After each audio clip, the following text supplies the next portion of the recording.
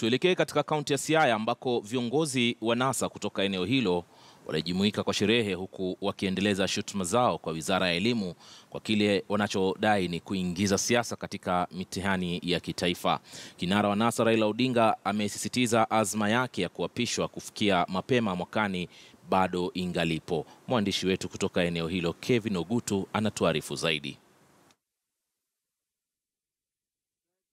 I'd like to take the opportunity to wish all Kenyans all over the Republic a very, very Merry Christmas and a prosperous and happy New Year 2018. Ndio ulikuwa ujumbe wa kinara wa NASA Raila Odinga alipohudhuria misa eneo la Bondo. Lakini kabla ya hotuba yake, Raila alisalimu amri ya mshirika huyu aliyemtaka kumwona ameapishwa.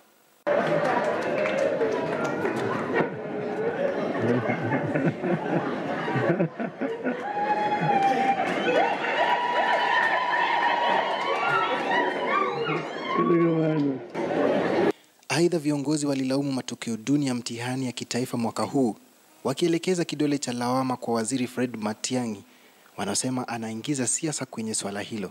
Exams of our children have been stolen. So many children who are bright have been failed a system that has itself failed. Ni swala lililotiwa mkazo na viongozi wengine waliokuwa hapa.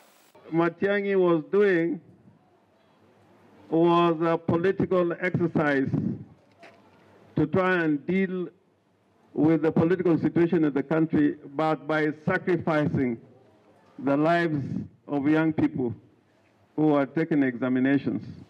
He wanted the headlines in the papers instead of taking sufficient time to mark these exams and be moderated.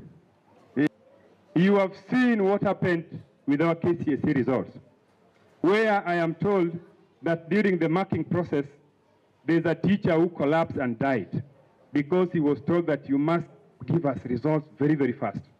And so a number of our pupils, a number of our students across Kenya are not going to proceed with their life because of one man called Matiang'i. Kevin Ogutu, KTN News, Bondo, Siaya County.